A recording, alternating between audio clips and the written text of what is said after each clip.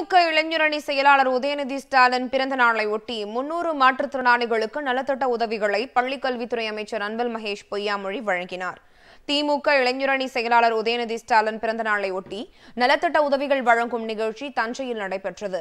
அன்னை தெரேசா தொண்டு நிறுவனம் சார்பில் நடைபெற்ற இந்த நிகழ்ச்சியில் முன்னூறு மாற்றுத்திறனாளிகளுக்கு இருபத்தைந்து லட்சம் ரூபாய் மதிப்பிலான செயற்கை கால்கள் சக்கர நாற்காலிகள் தையல் இயந்திரங்கள் பார்வையற்றோர் கல்விக்கான உபகரணங்களை பள்ளிக்கல்வித்துறை அமைச்சர் அன்பில் மகேஷ் பொய்யாமொழி வழங்கினார். தமிழ்நாடு அரசின் தலைமை கொறடா கோவி செழியன் சட்டமன்ற உறுப்பினர்கள் Durai Chandrasekaran T K G Neelamegam உள்ளிட்ட ஏராளமானோர் பங்கேற்றனர். அப்போது பேசிய அன்பில் மகேஷ் பொய்யாமொழி உதயநிதி ஸ்டாலின் பிறந்த நாளை ஒட்டி தமிழ்நாடு முழுவதும் ஏழை எளிய மக்களுக்கு பல்வேறு நலத்திட்டங்கள் வழங்கப்பட்டு வருவதாக தெரிவித்தார்.